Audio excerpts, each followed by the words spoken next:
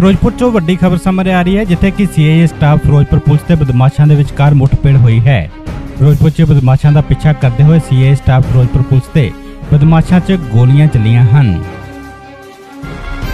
ਜਾਣਕਾਰੀ ਮੁਤਾਬਕ ਅੱਜ ਸੀਆਈਏ ਸਟਾਫ ਫਿਰੋਜ਼ਪੁਰ ਦੀ ਪੁਲਿਸ ਨੇ ਗੁਪਤ ਸੂਚਨਾ ਦੇ ਆਧਾਰ ਤੇ ਹੀ ਉਹਨਾਂ ਦਾ ਪਿੱਛਾ ਕੀਤਾ ਸੀ ਤਾਂ ਬਦਮਾਸ਼ਾਂ ਨੇ ਪੁਲਿਸ ਤੇ ਗੋਲੀਆਂ ਚਲਾ ਦਿੱਤੀਆਂ।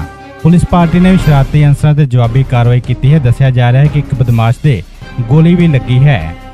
ਜ਼ਖਮੀ ਹੋਇਆ ਬਦਮਾਸ਼ ਲੁੱਟਖੋ ਦੀਆਂ ਵਾਰਦਾਤਾਂ ਨੂੰ ਅੰਜਾਮ ਦਿੰਦਾ ਸੀ ਅਤੇ ਪੁਲਿਸ ਨੂੰ ਕਈ ਕੇਸਾਂ ਦੇ ਵਿੱਚ ਲੋੜੀਂਦਾ ਸੀ। ਐਸਐਚਓ ਸਦਰ ਅਭਿਨਵ ਚੌਹਾਨ ਜੀ ਔਰ ਇੰਚਾਰਜ ਸੀਆਈਏ ਫਿਰੋਜ਼ਪੁਰ ਹਰਪ੍ਰੀਤ ਸਿੰਘ ਜੀ ਨੇ ਨਾਕਾ ਲਾਇਆ ਹੋਇਆ ਸੀ। ਇੱਥੇ ਨਾਕੇ ਤੇ ਦੋ ਬੰਦੇ ਆਏ ਮੋਟਰਸਾਈਕਲ ਦੇ ਉੱਤੇ। ਉਹਨਾਂ ਨੇ ਪੁਲਿਸ ਪਾਰਟੀ ਤੇ ਫਾਇਰਿੰਗ ਕਰ ਦਿੱਤੀ। ਅੱਗੋਂ ਪੁਲਿਸ ਪਾਰਟੀ ਨੇ ਵੀ ਆਪਣੇ ਬਚਾਅ ਵਿੱਚ ਫਾਇਰਿੰਗ ਕੀਤੀ।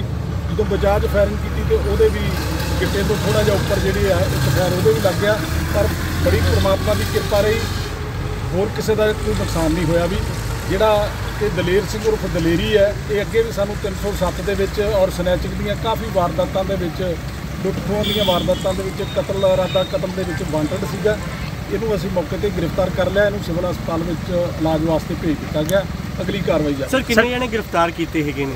ਸਿਰਫ ਇੱਕ ਬੰਦਾ ਗ੍ਰਿਫਤਾਰ ਕੀਤਾ ਇੱਕ ਬੰਦਾ ਮੌਕੇ ਤੋਂ ਭੱਜਣ ਵਿੱਚ ਇਹ ਕਾਮਯਾਬ ਮੋਟਰਸਾਈਕਲ ਤੇ ਆ ਰਹੇ ਹੈਗੇ ਸੀਗੇ ਇਹ ਮੋਟਰਸਾਈਕਲ ਤੇ ਆ ਰਹੇ ਸੀ। ਇਹਨਾਂ ਨੇ ਵੀ ਫਾਇਰਿੰਗ ਕੀਤੀ ਕਿੰਨੇ ਰਾਉਂਡ ਪਹਿਲਾਂ ਫਾਇਰਿੰਗ ਫਾਇਰਿੰਗ ਇਹਨਾਂ ਨੇ ਕੀਤੀ ਹੈ ਪੁਲਿਸ ਪਾਰਟੀ ਨੇ ਜਦੋਂ ਇਹਨਾਂ ਨੂੰ ਲਲਕਾਰਿਆ ਤੇ ਇਹਨਾਂ ਪੁਲਿਸ ਪਾਰਟੀ ਤੇ ਘਿਰਿਆ ਵੇਖ ਕੇ ਫਾਇਰਿੰਗ ਕਰ ਦਿੱਤੀ ਹੈ। ਤਿੰਨ ਫਾਇਰ ਇਹਨਾਂ ਨੇ ਕੁੱਲ ਕੀਤੇ ਆ ਪੁਲਿਸ ਪਾਰਟੀ ਸਰ ਪਿਸਟਲ ਵੀ ਬਰਾਮਦ ਹੋ ਗਿਆ ਸਰ ਇਹਨਾਂ ਦਾ? ਹਥਿਆਰ ਵੀ ਬਰਾਮਦ ਹੋ ਗਿਆ ਖੋਲ ਕਾਰਤੂਸ ਵੀ ਜਿਹੜੇ ਆ ਬਰਾਮਦ ਹੋ ਗਏ ਇਹ ਫਿਰੋਜ਼ਪੁਰ ਦਾ ਹੀ ਸਰ ਰਹਿਣ ਵਾਲਾ ਹੈ? ਇਹਦਾ ਪਿੰਡ ਆ ਦਲੇਰ ਸਿੰਘ ਦਲੇਰੀ ਇਹਦਾ ਨਾਂ ਇਹਦਾ ਪਿੰਡ ਹੈਗਾ ਖਾਈ ਫੇਮੇ ਕੀ।